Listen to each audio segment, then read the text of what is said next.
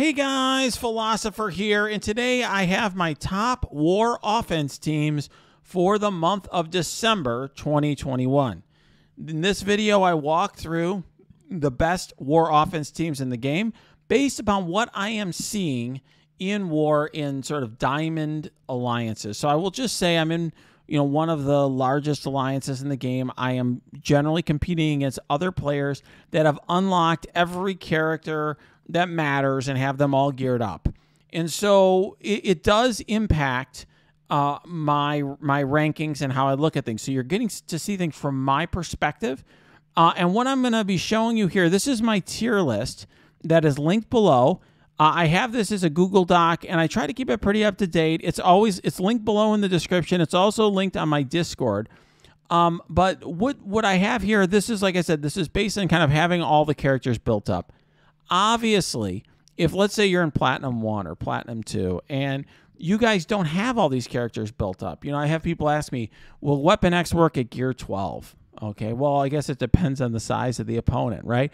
If if Axemen is your biggest team, obviously they're going to be way up on this list. If you have a 700k Axemen and all your other teams are 200k, well, obviously that team is going to be very important for you.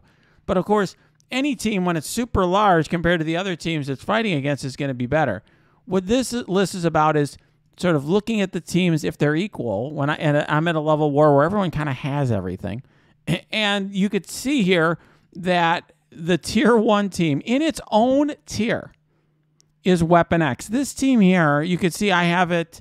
I have uh, three of the characters at uh, in teal gear at gear tier 16, the other two at gear tier 15. This team beats everything in war right now. It is super important and is so is absolutely clear to, clear on its own to be in its own tier. It is still the only hard counter to Heroes for Hire with Shang Chi. Infinity Watch can beat that team, but it's not 100%. And the, is particularly if the other side is more red stars or whatever, you can't. Certainly, punching up it can be, you know, uh, not a guarantee. Whereas Weapon X is a versus Heroes for Hire is a cakewalk. It is one of the is one of the easiest fights I've ever had in uh, Marvel Strike Force, and the team beats everything else. It's really if the other side's got Dormammu on defense, and you know that's that's something that I've been you know I have certainly seen in war. Weapon X is going to have to be part of the solution for you. If the other side it makes the mistake, in my opinion, of putting Weapon X on defense, and sometimes people do that as a strategy uh, depending on sort of how many heroes for hire their alliance has versus the opponent, how many weapon X they have.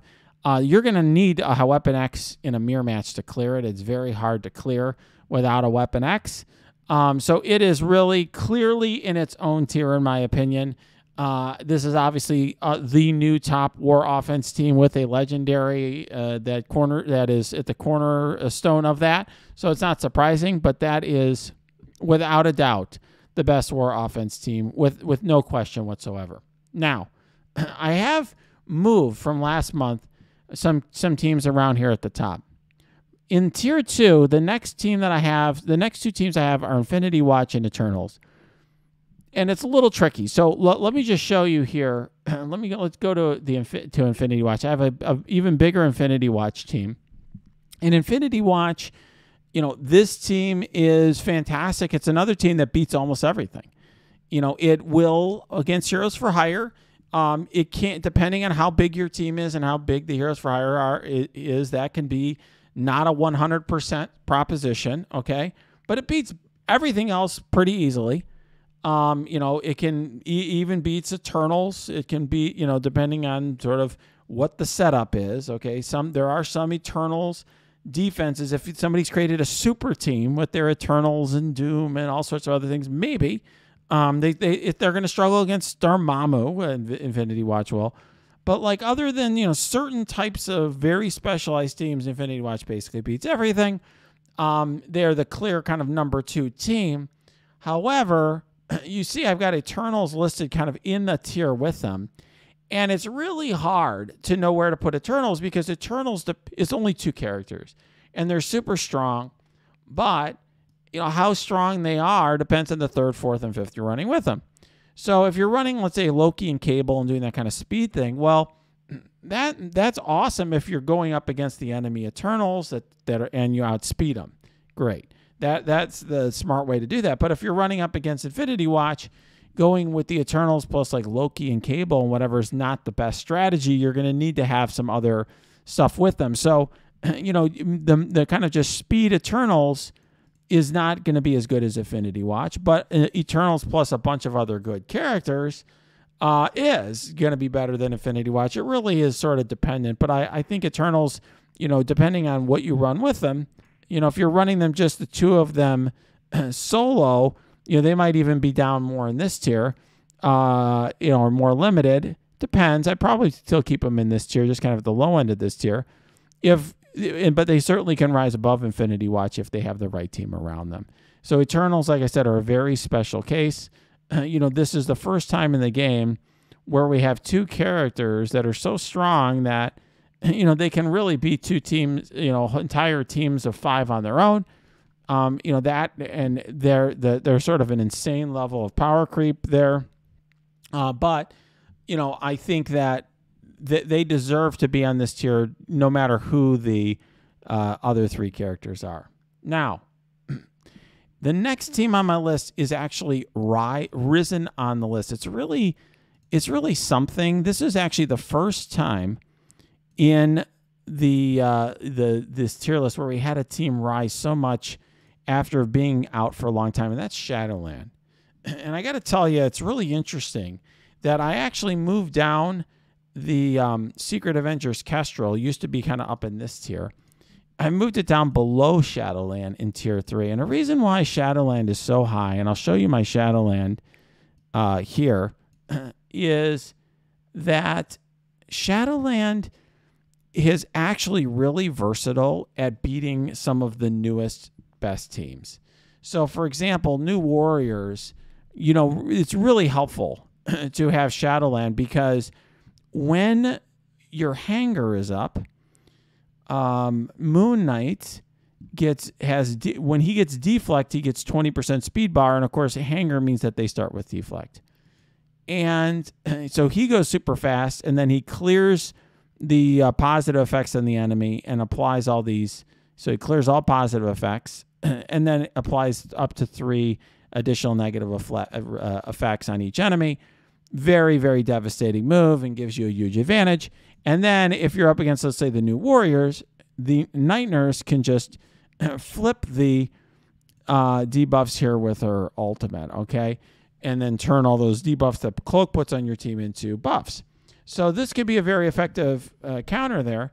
And the Shadowland team is so fast that they can outspeed a lot of other teams. I mean, there are even people using them against, let's say, Mercenaries Doom. The people use them against uh, um, uh, you know, against uh, you know certain Eternals teams and so on, because they can have a chance if if hangers up in particular. So they're just a very versatile team. You know, when I first was making videos about Shadowland, I'm like, well, you know, there's only a limited number of essential T4s, and you don't really need to gear up Daredevil and Moon Knight that much, or Daredevil and Elektra much now, and this and that. And you know, that advice was all very good for when it when Shadowland first came out you know, uh, I think 10 months ago now or something like that. Um, you know, they were, they, you didn't need them up as high, but now, at least in my level of war that I'm in, you know, my actually Shadowland is on the small side. People are really going hard into Shadowland because the team is just very, very important. And I think they're more versatile than the next team on the list. So the next team on the list is Secret Avengers plus Kestrel. And the Kestrel, you see, I have her underlined because I do think the team is an entirely different tier with Kestrel. And um, let me show you exactly what I what you know so what the sort of team is that I'm talking about here. so this is my Secret Avengers Kestrel team, and with Kestrel, this team just gets taken to all new heights. Um, the team is still actually very very good without um, without uh, Kestrel. You could throw in Falcon or something, and the team takes out a lot of opponents. All right, you know Falcon will give him a little bit of speed bar, you know, and then but the rest of the team is doing a lot. You know, Fury also makes the team go faster if he uses special early, or you know he can certainly put, um, you know, but with Kestrel he can summon, have his summons, you know, uh, you know, attack defense down characters to get her pings uh, from her passive, where she pings uh, uh, when uh, a character with defense down is attacked. And the team just has a ton of staying power, particularly at high red stars and gear. They scale very well with gear, and they're a very, very good team. But they're not as versatile as Shadowland. They don't take on some of the very tough opponents um, that Shadowland does. Um, but I, they're fantastic on war offense. They're definitely better on war offense than on war defense. On war defense, um, Maria Hill has a summon ability, or um, where she's going to create summons. Nick Fury does as well if you use Fury with them. And what ends up happening is this team ends up getting to a point where it can very easily lose to a team like Axemen or Symbiotes, depending on the the uh, what else there there is with those three characters. So uh, you know, so really, this is a team that's better used on war offense, an important war offense team, but not as central at, at, at from you know particularly recently as Shadowland is. That's what I've been seeing. All right, so we talked about is in the next tier down, and this was a something that I did for for the first time here as I put Shadowland and Secret Avengers Kestrel on their own tier. This was new to this video. this tier is Secret Avengers without Kestrel and you you know you if you want to know what the fifth is, a lot of the typical fifths are are uh, you know characters like Emma, Namor, you know Squirrel Girl, Falcon, whatever. Okay, um, what this is Weapon X without Omega Red because I know a lot of players haven't unlocked Omega Red. So if you built up the team but you don't have Omega Red yet, uh, they're kind of in this range. They can beat a lot of stuff, but you know he really makes that team way way better uh, and you have to be careful who you bring them against. Basically, they they, they they're much more matchup dependent, whereas with Omega Red they kind of just beat everything. New Warriors are in this category. I, I think I see them in my level run more on defense. Um, they, they are very good on offense, and if you're doing a big punch up uh, against another alliance that has a, is much larger than yours, then having New Warriors on offense can make sense. Um, they could just be a pain to deal with on defense. Um, but on offense, um, you know, with without without Kestrel, which I'm just assuming he's not on the team. I mean that yes, she'd make the team better if it's like New Warriors, Kestrel and Doom or something. They'd be uh, there. And actually, one other uh, team that I'm going to put up in this category, um, and I really should have put here already.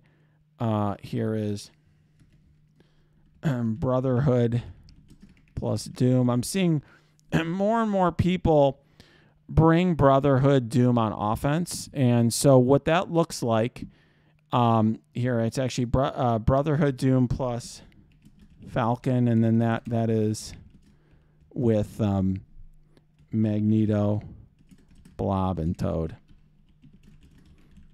And so essentially, what happens is you know you know what's going to happen there is Magneto is going to blind everyone in the beginning. You know that's going to be very useful against certain enemies. Uh you know like new warriors or something. He's gonna you know if they've got a big attack they're doing in the beginning Mag- magneto is gonna get speed bar and make sure everyone's blind. Let me show you exactly how that works because that's important. So if we go here you can see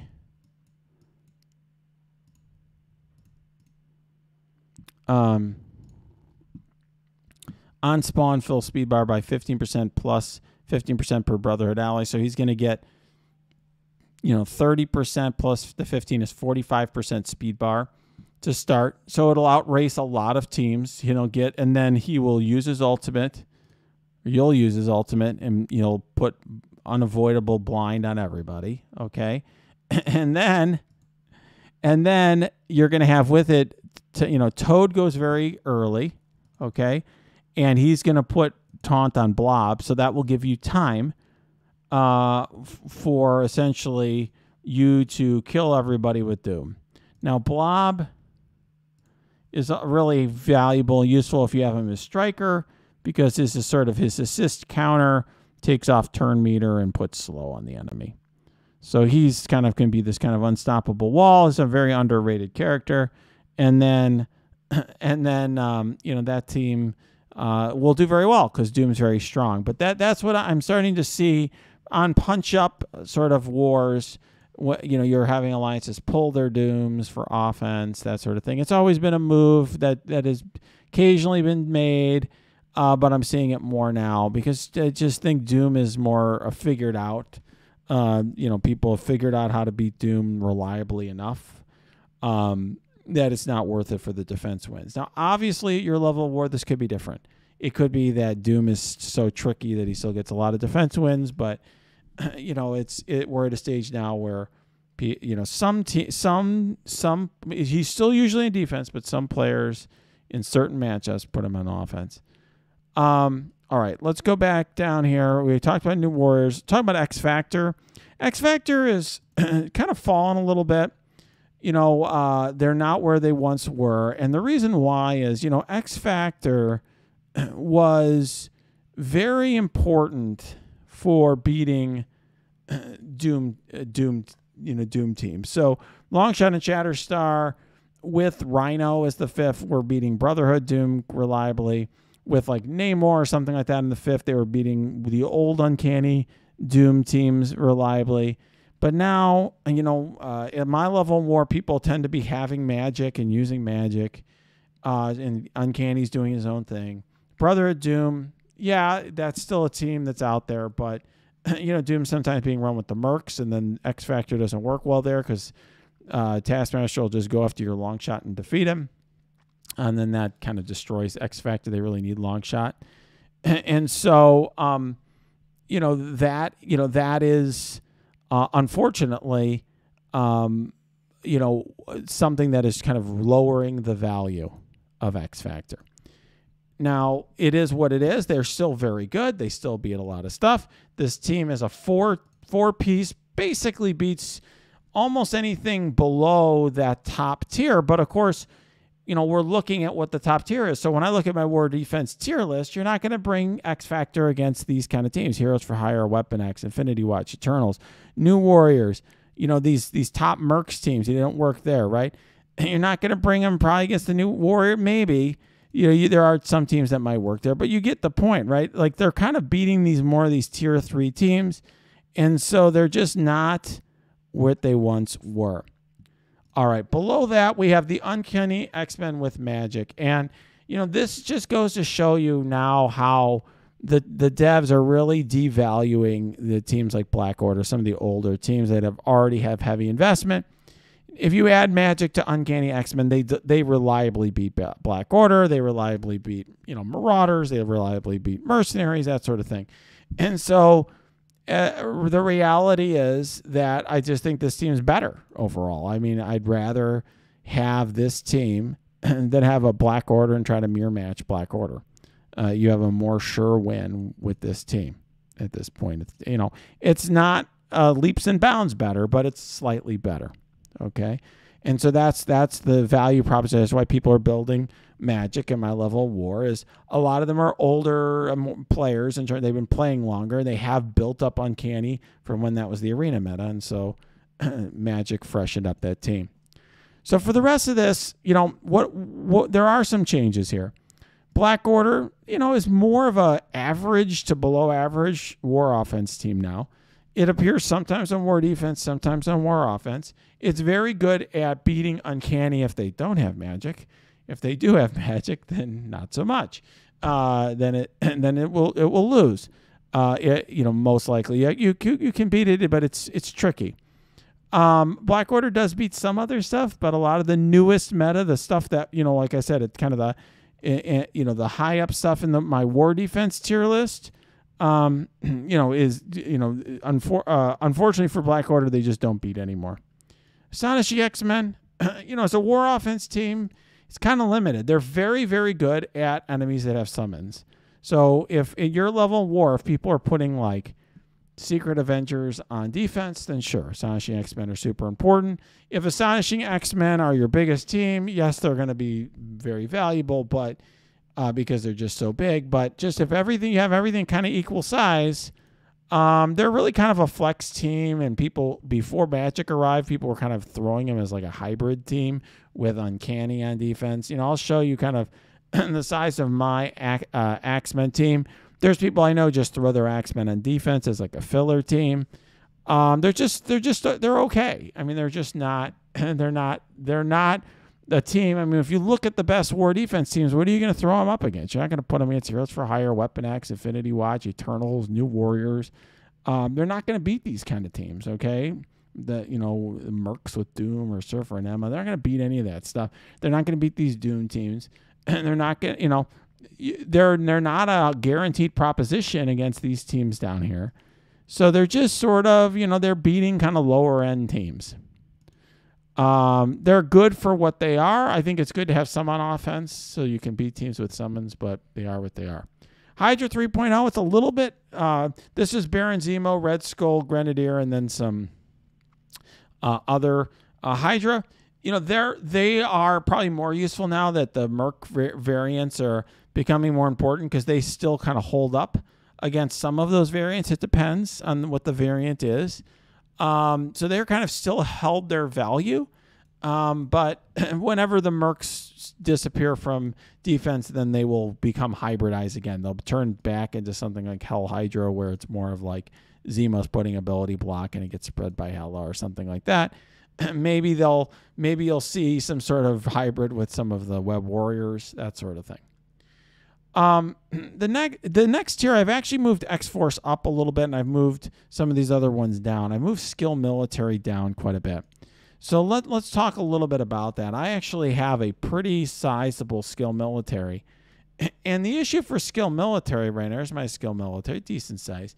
The issue for Skill Military right now is just their their bread and butter was beating mercenaries, and so to uh, you know, so they were just destroying the old Shuri Mercs, uh, uh, you know, Wakanda Mercs sort of teams.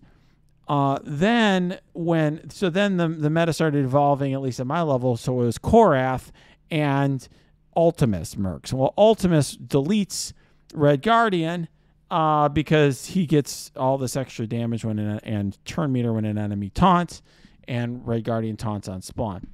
So then this team was like, okay, well then where's this team going to? Well then Mercs now are getting hybridized to be something like Doom with Mercs or or uh, Silver Surfer and, and Emma with Mercs. And so then, you know, basically this team doesn't do anything against any of that. So basically they just sort of either people throw them on defense or they're used against sort of smaller teams that are not as important. They're, they're just sort of a throw in extra war like lower end war offense team now. They're not beating anything important. Um, and you really need to make sure you have the right matchup. You know, they can still beat certain teams. They can still beat certain Sinister Six, Wave One, whatever, but they're not beating anything that really matters. All right. now, uh, so that's why they've moved down. That is why uh, X Force, and so why you're saying, well, wait, with Philosopher, well, X Force is this old Power Creep team. Why have they actually relatively moved up? It's not because they've gotten any better. It's just that what X Force does well is they go fast and they get some early damage in. And they've gotten really power crept because the whole way the team works is that Negasonics alt uh, does a bunch of damage, and then it's, suppo- it's supposed to drop some characters under 50%, which gives turn meter to a speed bar to uh, um, to uh, X23, right? Well, it, it's uh, so there you go. To uh, yeah, so it gives below when a when a character's health or when an enemy drops below 50% health, fill speed bar by 40%. Well, it, as their damages become less important, you know, relatively imp- impressive, it's just harder for them to do it. But the the fact is that they still go first because they get um, they fill speed on spawn. And she, you know, they get speed bar with the full team on war offense, and so they go first. And so if they have enough damage, they can sort of get the jump. And speed is always uh, in the most important thing in a game like this, a turn-based game. And so they've held up a little bit better than some of these teams below. And these other teams are just more situational. Sinister Six is great if the opponent's got a lot of buffs and they're not particularly fast or super OP. I mean, they can just punch up big against teams. They can punch up big on the Black Order. They can punch up big on uh, Wave 1, that sort of thing. Brotherhood 2.0 punches up big on symbiotes, but if not, you know, and Technerva and the Brawlers teams and stuff like that, but not much else. Skill military, like I said, they really have to pick and choose their spots. Symbiotes are great if the opponent's summoning a lot, like if they have their Doom without taunts and things that are going to keep your symbiotes from killing the Doom bots. Uh, or, you know, if they, they're, uh, you know, they have, you know, they're Sinister Six or something, you can beat them because they have a summon, but they don't beat much else. Uncanny X Men without magic. I mean, that team is just, you know, and they would certainly get beat easily by by Black Order, Punch Up, but they also can get beat by a lot of other stuff as well. Certainly, any team with Kestrel uh, without magic basically makes the team worthless. Uh, Web Warriors, I kind of have down here. Um, you know, I, I showed you guys in my video on the test server how the team does. I mean, this is sort of where I expect them to be. Uh, and they, they may drop a little further than this. They're a team that doesn't beat stuff like Black Order, um, can beat can sort of barely beat stuff like the Marauders, you know, with with you know the full team with Sabretooth and all that. But they're they're kind of in that range. So that's sort of kind of where I have them. But that that could change up and down. But that's based on purely based on what I've done on the test server with the full team uh, at Gear Tier 15 in War Practice mode.